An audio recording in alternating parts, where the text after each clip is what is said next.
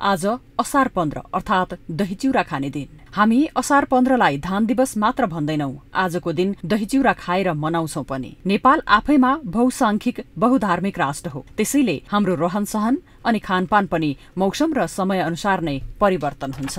हामीले खाने दही चिउराको पनि आफ्नै विशेषता छ। चिउरा कार्बोहाइड्रेटको स्रोत हो। दहीमा चिउरा मिसाएर खाँदा कार्बोहाइड्रेट प्रोटिन क्याल्सियम पोटासियम र भिटामिन पर्याप्त मात्रामा पाइन्छ।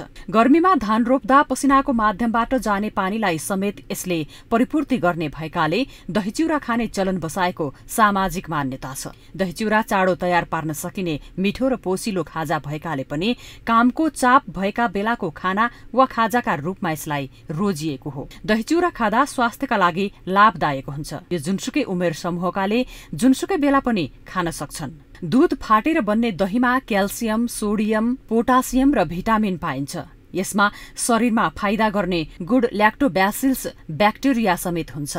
चिउरामा भने कार्बोहाइड्रेट आइरन र प्रोटिन पाइन्छ। धानलाई भिजाएर ओखल वा मिलमा कुटेर तयार गरिएको खाद्य पदार्थ नेपाली खाना चिउराको ठूलो महत्व छ। चिउरालाई चोखो खाद्य पदार्थका रूपमा पनि लिइन्छ।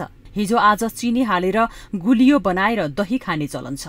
चिनी हाल्नुभन्दा सिजन अनुसारका फलफूल केरा आँप आदि मिसाएर खाँदा उपयुक्त मानिन्छ। दहीले चिसो लाग्ने भएकाले राति सुत्ने बेलामा खानु हुँदैन भन्ने मान्यता पनि छ तर ठिक्कको तापक्रममा राखिएको दही जुनसुकै समयमा खाए पनि केही फरक नपर्ने विज्ञहरू बताउँछन्। दहीले कहिले बिरामी पार्दैन यदि कुनै हानिकारक किटाणुले यसमा प्रवेश पाएका छैनन् भने।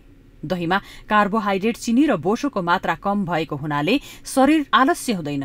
असार महिनामा गर्मी हुन्छ। गर्मी र थकानले प्यास लागिरहेको बेला दहीले शीतलता प्रदान गर्छ।